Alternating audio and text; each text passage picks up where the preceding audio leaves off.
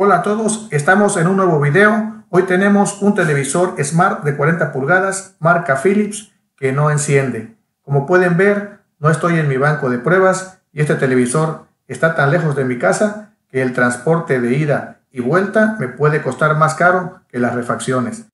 Así que me llevaré solo la tarjeta para revisarla y después la traeré de vuelta. Mientras les daré algunas recomendaciones para quitar la tapa en este modelo. Primero quitaremos los tornillos y retiraremos esta pequeña tapa. Desconectaremos las bocinas, el sensor del control remoto y los botones, el flex que va a la tarjeta Tecom y el conector de los LEDs para que pueda salir libremente. Cuenta con broches por los lados y en la parte de arriba, por lo que deberán utilizar una cuña para ir destapándola poco a poco. Aquí la pueden ver, ya solo quitaremos estos tornillos y ahora sí vamos a comenzar con la revisión.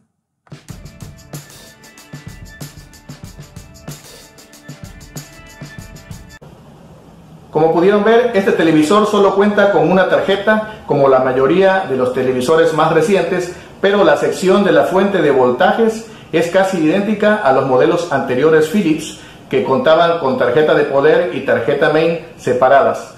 Así que en este video solo les mostraré las piezas dañadas y los sustitutos usados. Ya si ustedes quieren ver más a detalle los componentes que se utilizan para reemplazar los originales en estas fuentes de poder Philips, les dejaré aquí arriba en una tarjeta el enlace de un video anterior donde podrán ver de manera más precisa las conexiones de los transistores y más opciones de reemplazos. Comenzaremos verificando el fusible. Vamos a probar su continuidad con el multímetro en la escala de por 1 ohms. Ahí vemos la aguja. Y podemos ver que está abierto el fusible.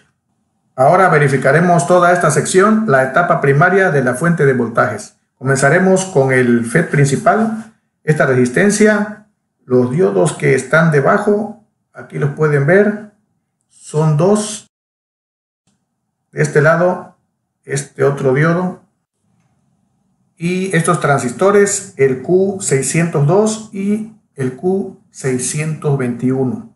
Verificaremos las resistencias de superficie de esta zona. El optoacoplador y el Zener regulable 431 en el secundario de la fuente. Estas son las piezas que se encontraron en corto, el Q601 con un número TK 10P60W,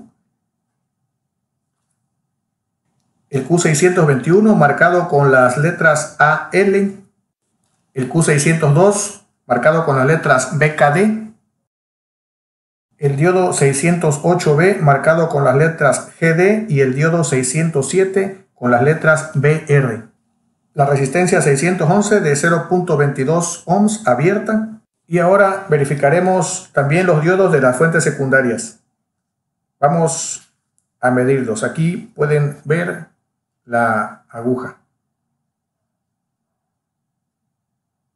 El primero está bien.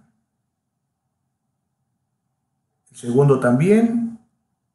El tercero también. Pero este cuarto está en corto. Aquí lo pueden ver es el diodo 653A con número SB3A0.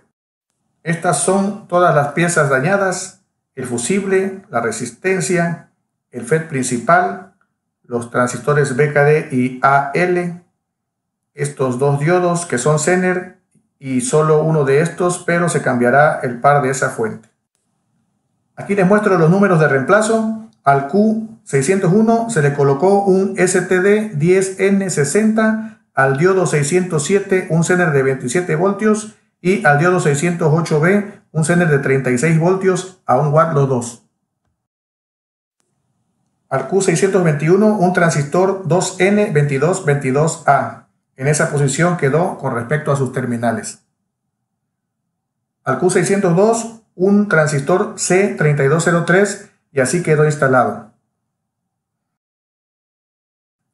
Ya están colocados los transistores, el FET principal, los diodos, estos otros dos diodos Schottky de 3 amperes y solo falta la resistencia de 0.22 ohmios. Ya está colocada también la resistencia, solo deben verificar que no se junten sus terminales con los diodos. También ya se cambió el fusible, vamos a probar. Primero, probaré con una extensión con foco. Está conectado la fuente secundaria al multímetro. Conectaremos el televisor.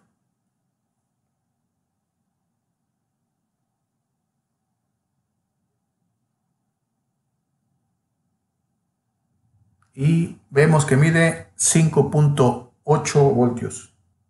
No encontré información, pero deben ser de 13 y 21 voltios aproximadamente estas fuentes secundarias. Ahora probamos la segunda y mide 9.7. Ahora probaremos sin los focos.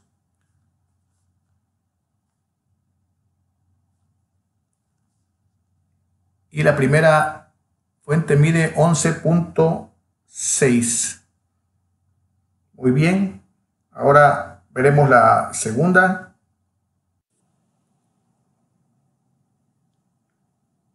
Y vemos que mide 20.1. Ya vamos a instalarla en el televisor. Parece que todo está bien y está en modo encendido. La colocamos y efectivamente el televisor arrancó solo al conectar. La imagen es inestable porque no tiene antena, pero ya está funcionando bien.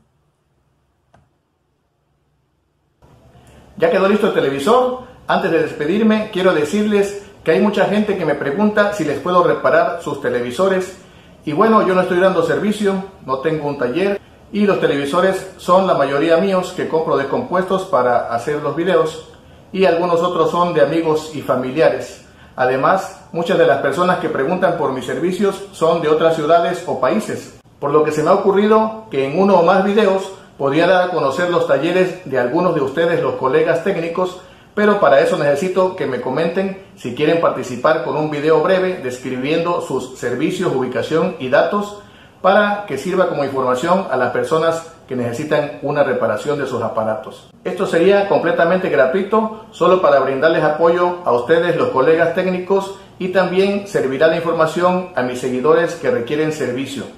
Habrá algunos requisitos que deberán cumplir para poder ser incluidos en este proyecto, pero ya dependiendo del interés de ustedes, veríamos los detalles y solo sería primero en los países en donde tengo más visitas, que son México, Argentina y Colombia. Así que espero sus comentarios y nos vemos en la próxima ocasión, si Dios lo permite. Hasta pronto.